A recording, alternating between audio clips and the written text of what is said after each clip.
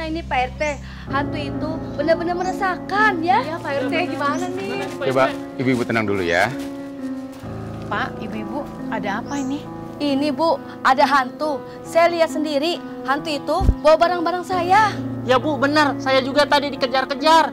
Hantunya ganggu banget Bu, jemur saja juga tadi hancur. Ibu-ibu, bapak-bapak tenang dulu.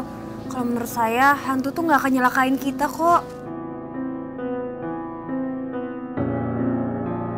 Apa ini yang bikin kucing-kucing tadi pada ngumpul? Sahawai yang udah ngeliat. Mana buktinya? Katanya ada hantu, ada hantu atuh. Saya Pak Kades.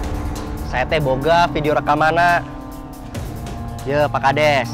Iya hantu nah aya di ayunan. Coba Pak Kades tingali. Orang lagi melayang Pak Kades. Wah beneran tuh Pak Kades. Ayah hantu. Wah ini gimana kampung kita jadi resah Pak Kades. Gara-gara ayah hantu. Ah, kalem, kalem, kalem. Oke lah. Kurang cari solusi. Pak Kades teh kudu cepat bertindak sebelum kampung kita tambah resah Pak Kades. Betul Pak Kades.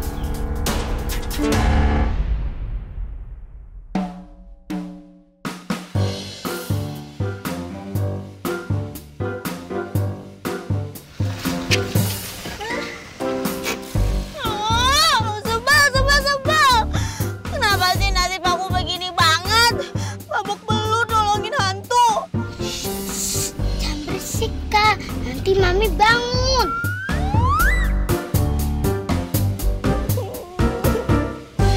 Maaf ya, Kak. Kakak direpot demi Nina. Yaudah deh, ayo kita berangkat lagi.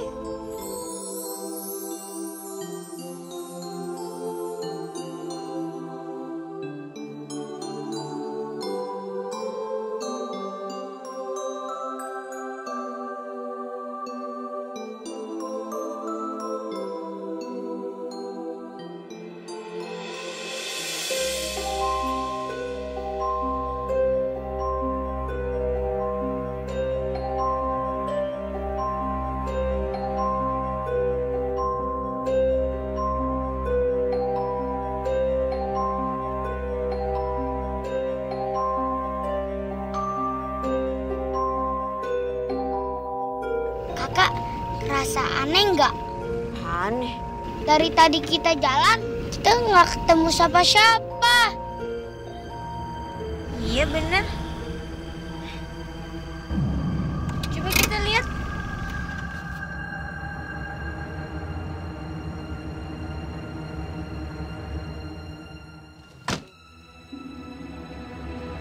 Bener kan, Kak? Sepi, nggak ada orang. Iya bener sepi. Ini kira-kira orang-orang pada ke mana ya? Sepi kayak gini. Masa kita nanya sama jangkrik?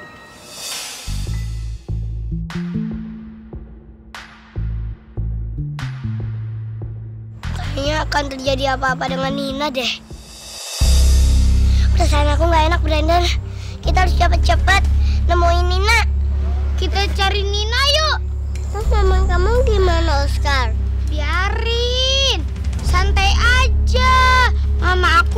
Tidurnya